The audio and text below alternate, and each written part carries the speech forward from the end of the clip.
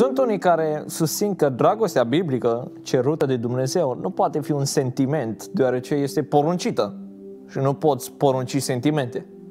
Cu alte cuvinte, dragostea trebuie să fie în mod simplu, zic ei, un act de voință sau fapt a trupului, fără să includă sentimentele sau afecțiunile.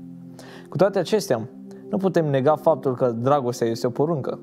Hristos cere de la noi ca sentimentele noastre să fie într-un fel și nu în altul. El ne cere, de exemplu, să ne bucurăm în anumite circunstanțe. Da? Vezi Matei 5, versetul 12. Uh, să ne temem de persoana potrivită. Luca 12 cu 5. Să nu ne rușinăm de el. Luca 9 cu 26. Sau să iertăm din, inimă, din toată inima. Da? Și așa mai departe. Dacă un, un anume sentiment este adecvat, atunci Isus ne-l poate cere. Faptul că eu pot fi prea corupt ca să le trăiesc pe cele pe care ar trebui să le am, nu schimbă datoria mea de a le avea.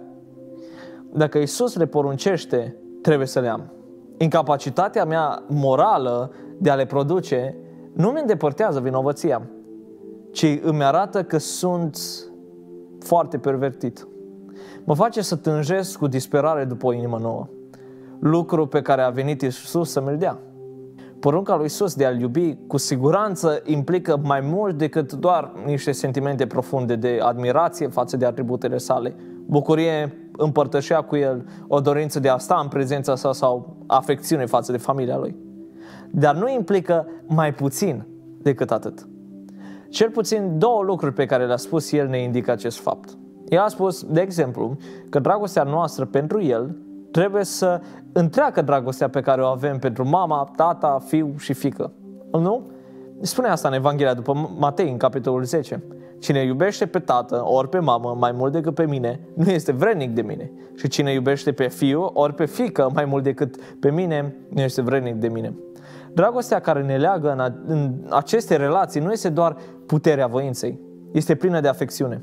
Isus a spus că dragostea pe care trebuie să, să o avem pentru El nu este cu nimic mai puțin de atât, ci mai mult. Al doilea argument pentru faptul că Isus cere ca dragostea noastră să fie mai mult decât fapte bune este în Evanghelia după Ioan, capitolul 14, versetul 15.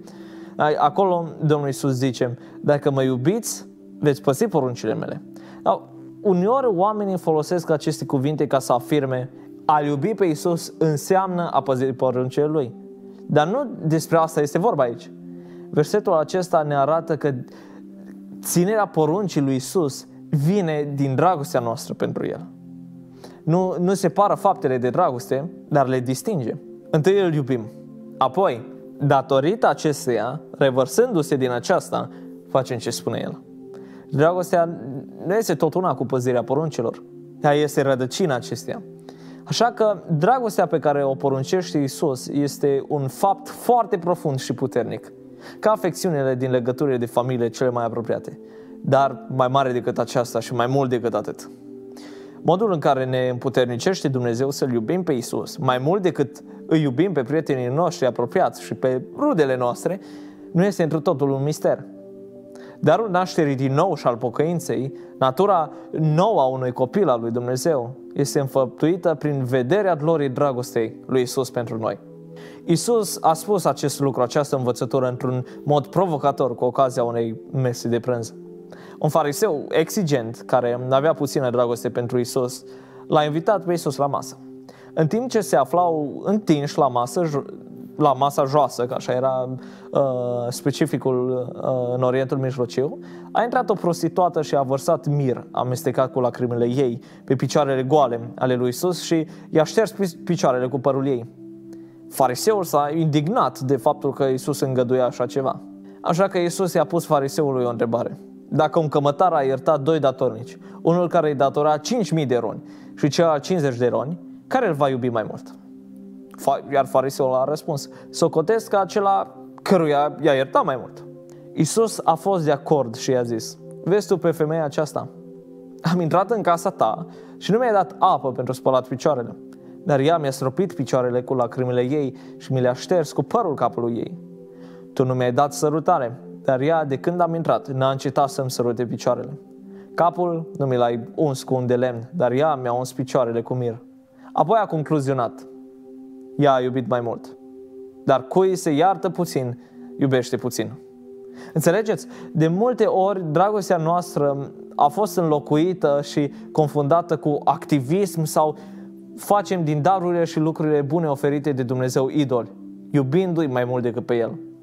Aceasta este o întâmplare care ne arată modul în care se naște dragostea pentru Isus. Se naște atunci când ni se dau ochi ca să vedem frumusețea lui Isus, în modul cum ne-a iubit El întâi.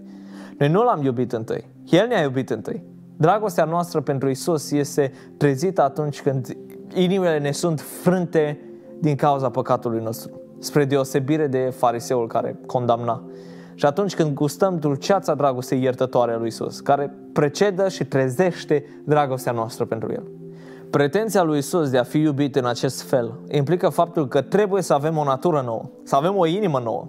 Alminteri, cum am putea iubi pe cineva pe care nu l-am văzut niciodată cu mai multă afecțiune decât îi iubim pe copiii noștri dragi?